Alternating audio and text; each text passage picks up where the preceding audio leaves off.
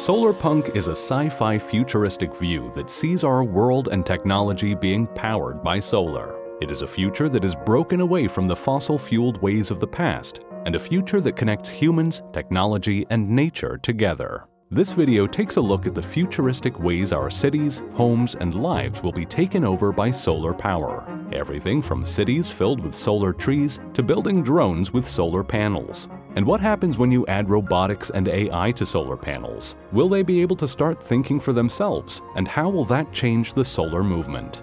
What other ways are people building solar farms as they move beyond land and build floating solar farms? And start looking to the skies. We will be ending this video with solar balloon towers and how solar panels will be fused with Tesla's Cybertruck. And what other ways will solar panels and solar power be used to build a more technologically advanced world? Since the amount of energy that the sun strikes the Earth in one hour is enough to power all of humankind's needs for a whole year.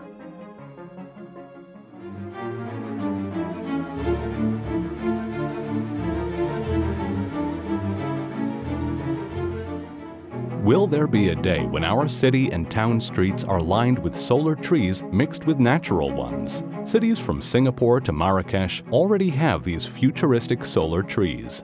Merging solar panels with a tree structure allows for more solar panels to be used without taking up more floor space on the ground, as the structures reach up and branch out.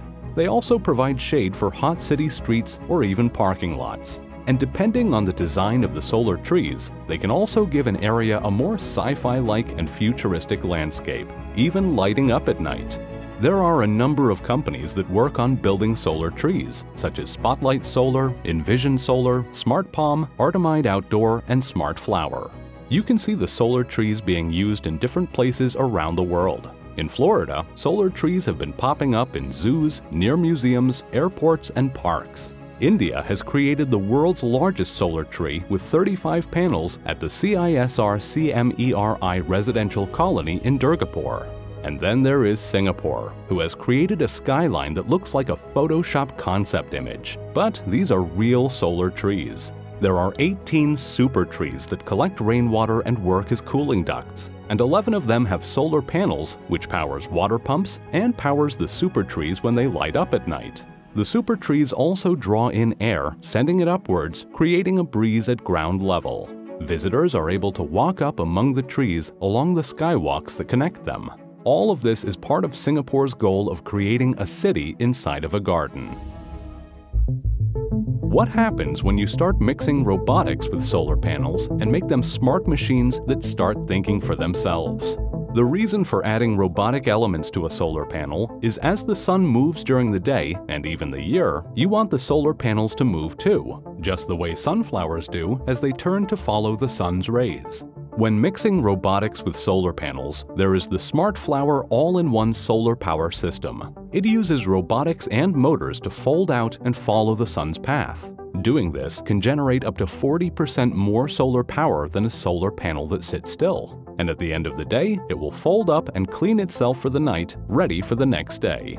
People can even build their own DIY solar trackers at home using motors and a 3D printer, as seen by this open source project by the Open Source Classroom. Cubotics was a company that created Solbots. Instead of having expensive individual motors for each solar panel stand, an inexpensive railing was used to connect them all. Two robots worked together, driving to each solar panel stand to rotate them to face the sun. While one robot made the rounds, the other would be charging. And what about adding drones into the mix? How can they, along with artificial intelligence, add to the solar movement? Drones are used to map out plots of land and calculate the sun's exposure at different times of the day and year. This lets landowners figure out where is the best place to install the solar panels. And drones, along with artificial intelligence, are also able to fly over large solar farms inspecting solar panels for damaged areas that need repairing. There will be more later in the video on how drones fitted with solar panels can stay flying for months and what they are used for. As drones survey plots of land for the best place to put solar panels, other people and companies are choosing to build on water, creating floating solar farms. One reason for building on water is because there is more space available to build. And another big benefit is that the water keeps the solar panels cooler, making them more efficient. There is the Sekdoorn floating solar farm built on a lake in the Netherlands that was switched on in 2019, and it only took six weeks to build.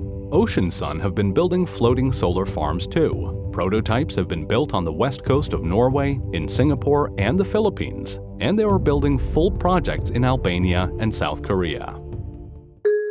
In the western Indian village of Gujarat, a solar power farm has been built on land but spreads across and covers a canal river. Not only does the canal water help keep the solar panels cool, making them up to 5% more efficient, but the shade from the solar panels helps stop the water below from evaporating, saving the water for crops and people. The shade also helps keep the water cleaner as it slows down the growth of algae. The project in India is called the Canals Solar Power Project and covers 750 meters of canal waters in Gujarat. And more states in India have been commissioning builds for solar canal farms. The idea of using solar panels to create protective shade can also be used on land. Agrivoltaics is a way of farming that uses solar panels on farmland while allowing food to grow under them in the shade. Because the crops are growing in the shade, when watering the crops, the water stays on the soil longer and does not evaporate as fast. This saves water as farmers are faced with climate change affecting water supplies and crop growth.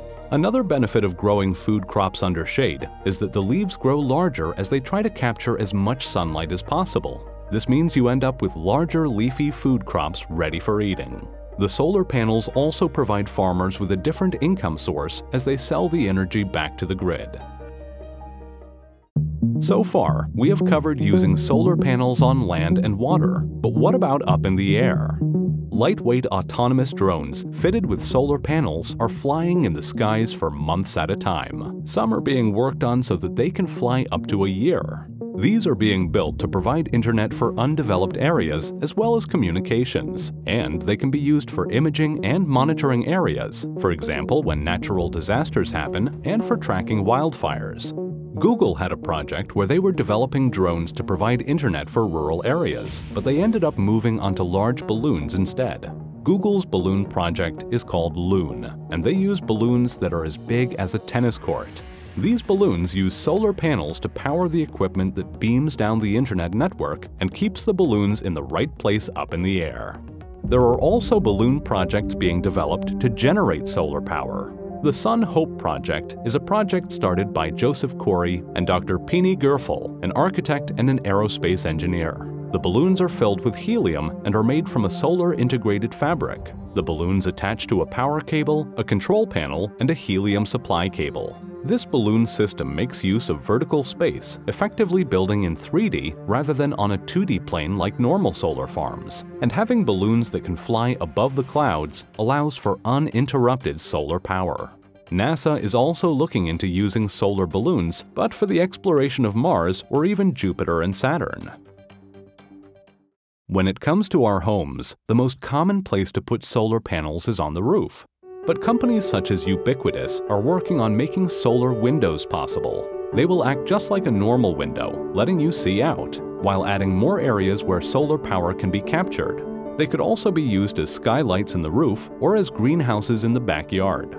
Not only will houses be able to use them, but also buildings and cities. But where else could these transparent solar panels be fitted? Car windows would be the other use, or even for mobile phone screens. The idea of making solar panels invisible in windows can also be used for other materials.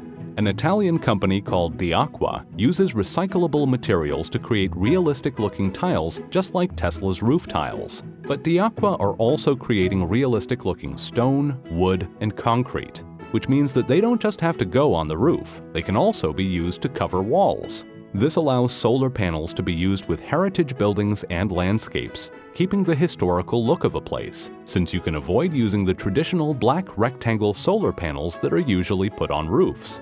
These Dyaqua invisible solar panels could even be used to make sidewalks or cobbled streets. When it comes to our roads, we can see solar panels being used on cars, as barriers, or even used to make the roads themselves. Elon Musk's Cybertruck can be used in remote locations because of its off-roading capabilities, and adding solar panels to it will allow it to go completely off the grid. Adding solar panels onto the back of the Cybertruck would add 15 miles of range per day, while as Elon has said, adding fold-out deployable solar wings could add 30 to 40 miles per day. Could this be an Elon Musk side project for developing human transportation vehicles to be used on Mars? When it comes to the streets on Earth, solar panels are being put up as sound barriers in high traffic areas. These types of sound barriers are mostly seen in Europe in countries such as Switzerland, Germany, and Holland. And lastly, there is Solar Roadways, a company who creates specially engineered solar panels that can be walked and driven on. These are smart panels too, as they have microprocessors in them that light up LED lights that act as road markings and can heat up the roads to melt snow and ice adding to the number of ways that solar panels and solar power will transform our lives in the future, creating a more solar punk world. On the next episode of Venture City, we take a look at Elon Musk and his thoughts on artificial intelligence, and the video will also explain the basics of AI. Hit the thumbs up and subscribe buttons to not miss a video.